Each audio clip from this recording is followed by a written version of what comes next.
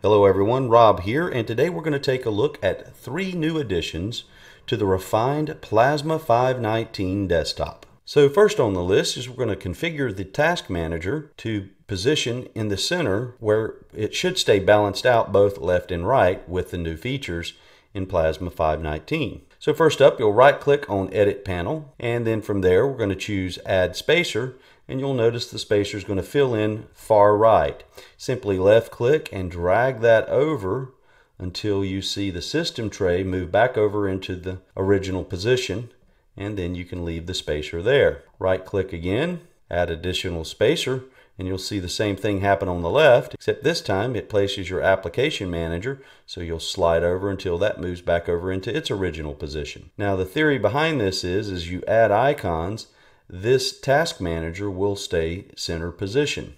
So from there you can close out and then we'll go in and add an additional icon link.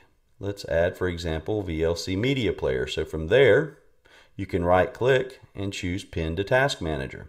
Now as this populates or applications begin to open and change you'll see that the task manager will shrink or enlarge in size but still continue to stay centered which makes for a nice feature depending on where you are in the screen, it's quicker and easier to access icons here in the center.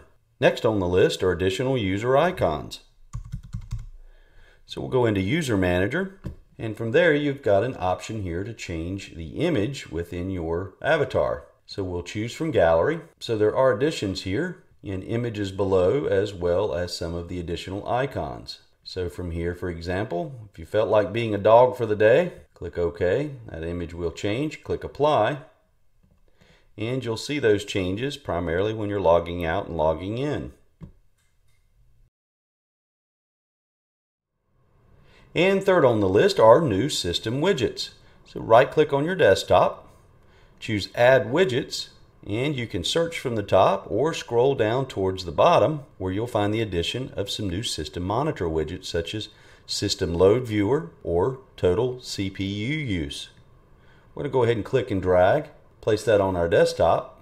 We do have a background on this widget, but we're going to left click and hold on the widget and you'll see a pop out.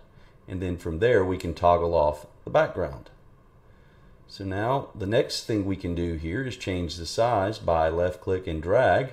And then we have a settings menu here to configure the additional items we would like to add.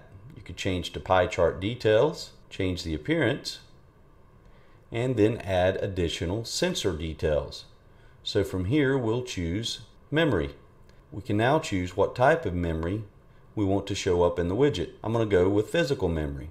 So we've double clicked that. We're also going to change the color of that and click apply. And now you see the two different usages here. Mine's going to be a little high because I'm recording this video, but you can stack this out or build this out to your liking. It's a really nice, fun new addition. Well, that wraps it up. Thanks for watching.